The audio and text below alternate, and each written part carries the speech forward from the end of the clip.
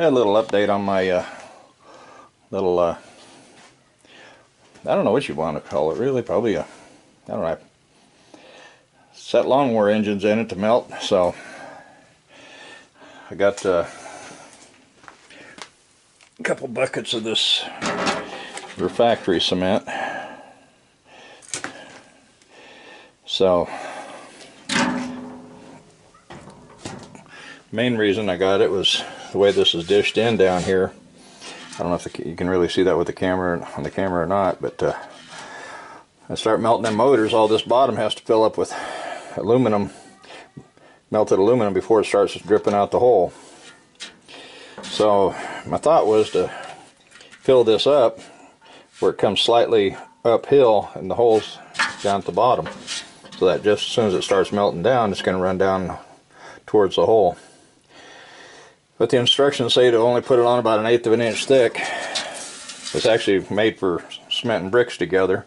So, yes, it's still pretty soft down there. Just let it dry for 24 hours. So, put this on there probably about 1, 2 o'clock. It said make sure, yeah, be, be above 60 degrees. It was a little cool this morning. Real windy earlier. But, uh, got the first coat on and I'll start just building up.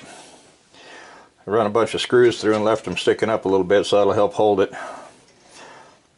I think I'm I got two buckets of it so I think I got quite a bit so I may try to uh, get some hardware cloth or something and run it around the, the around the outer edge on the inside. Run some screws in there to hold it and grind the screws flush on the outside. And then uh, try to put a eighth inch or quarter inch thick layer on around the outer, outer edge. That'll keep a lot, might help keep a lot of heat from transferring out. Hopefully, I'm not sure how good this insulates, but uh, I don't want to put fire brick around it. That'd take up a lot of space. If I was going to do that, I might get more fire brick and then use that uh, big Craftsman air tank I got out there, but that thing's big. Because I measured it where I should be able to take an engine off of a riding mower and set it down in there. But I know I can. Push motors motors fit in there with a lot of room. If I was just doing them, I could probably put fire brick around it and cement them in there. But uh, I might just try to go with an eighth inch, quarter inch, just to see if that'll help retain the heat so it doesn't transfer through the sides and then it, of course it's getting hot enough it's melting it so. But I was just thinking if it retained the heat it would just get there quicker. Anyway that's where I'm at on that so we'll pick it up again later. Hello scrappers. A little quick update on my uh, aluminum motor melting barrel. I uh, as I said before, the bottom of it was dished, so I've added several layers.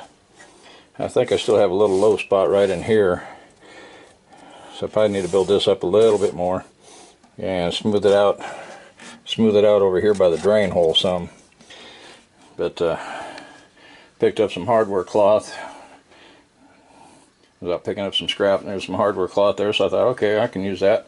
So I've been using little self-tapping screws.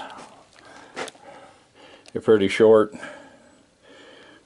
I've run a bunch of those through to hold the hardware cloth. There's some thick spots. Other places it's right up against the, the side.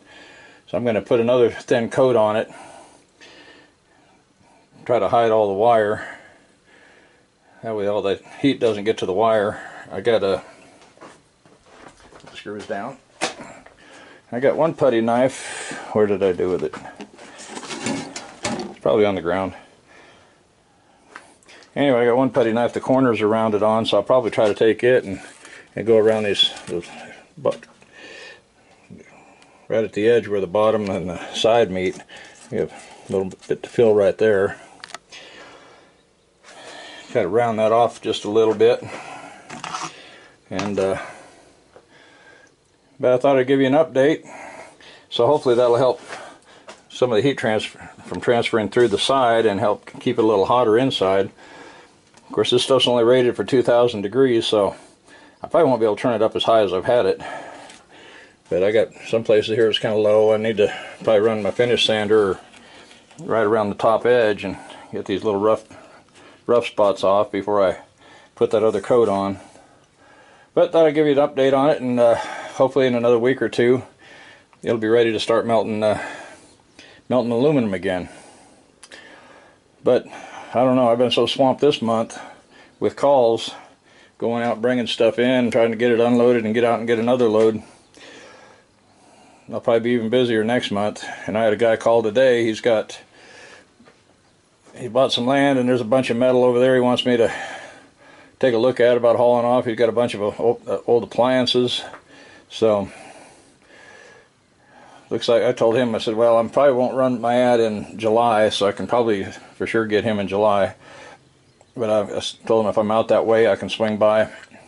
I told him I get a lot of calls out Little Axe and go out Highway 9, getting there, and he's only three miles, three miles south of Highway 9, so not far out of the way at all. So at least I, if I go out after something, I can come back with a full trailer. Yeah, I got a few pits and stuff. It took a little while to just to do all this. I smoothed it out pretty good with this uh, this little plastic squeegee. The squeegee is actually designed for putting decals on on windows or cars or whatever. But uh, it's been working pretty good. So I guess I'll get the sander out and do a little bit of sanding and then we'll go from there. So we'll see you later. Happy scrapping.